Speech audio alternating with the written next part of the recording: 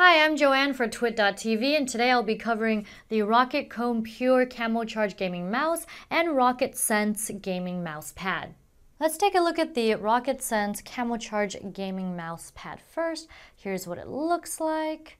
Very cool, got the Roccat logo right there and uh, some uh, FPS, what are those like headshot counters over there? Very cool, love the color as well. And it does measure 400 millimeters by 280 millimeters, which is like 15.7 inches by 11 inches. And it's actually very thin at 2 millimeters. For reduced friction, there's a microcrystalline coating bonded with the cloth and can kind of feel it. And once I flip it over to the base, it's just all textured rubberized finish. And here's a look at what comes with the mouse. So you get this installation guide, you also get braided cable, so it's very durable with, I believe, USB 2 connector. And here is a look at the mouse itself. As you can see, Camo Charge is just the uh, military green color. Um, and look, it's got a Camo's Charge over here. And it's honestly, it's very comfortable. So when I hold it in my hand, I would say this is definitely more of a claw grip. And you have this kind of soft finish on the sides. I believe it's all plastic, but it feels really good in the hand and it's light, but not too light. So it's great for FPS gamers. Now as to the button setup, you do get two here and two here, as well as a scroll wheel, and of course your left and right buttons. And if you get the software, the Kone military software, then you'll be able to program those buttons. Now on the bottom, you do get some gliding feet, as well as this sensor. This is a uh, optical sensor, as optical sensors are better for precision gaming, and this is a 5000 DPI Pro Optic R4 optical sensor. You get seven programmable buttons on normal mode because there's also an easy shift feature that comes with this Kone Pure. So you get one, two, three, four, and five buttons and the scroll up, scroll down, those are additional buttons. So that would be seven buttons right here that you can program in normal mode, but left and right you cannot reprogram. Now if you set, let's say this button to easy shift, then once you hold it down, you can access a whole number of other commands. And of course, this is, uh, once it's easy shift, it's not programmable. And then you would get one button, two, three, four, five, six, seven, eight programmable button. So in Easy Shift, you can program your left and right clicks. And there you have it. Now here's a look at the LED on the mouse. Nice logo right there. And you can change it to whatever color you want. Keep it breathing like this or static or off if that is what you prefer. Here's where you go to download the Kone Pure military software for the mouse.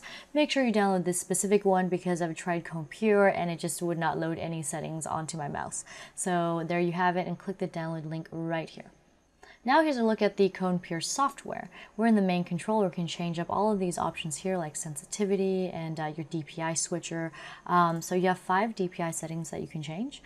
You can either move the bars here or you could go ahead and click the arrows, or you can unlink it and change the independent uh, XY DPI, uh, XY axes.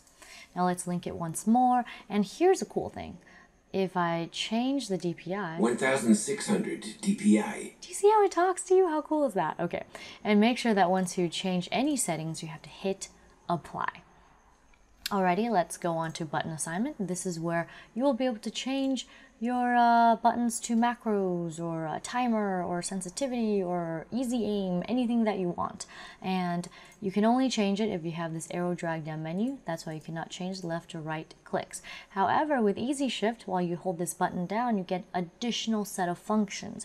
So it looks like you can change the left and right buttons here, but not this uh, normally default backward button.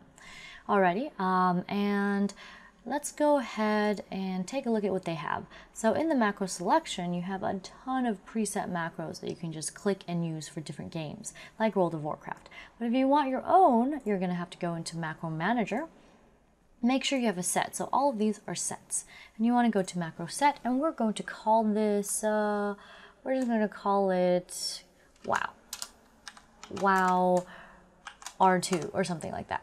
So we're gonna go click OK and then make sure you create a new one and we're gonna call it wow and hit enter. And I want to record delays as well as uh, repeat the macro. So in here, I'm actually just going to, uh, let's do it three times.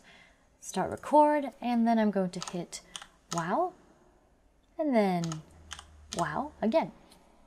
Stop record, and then hit OK.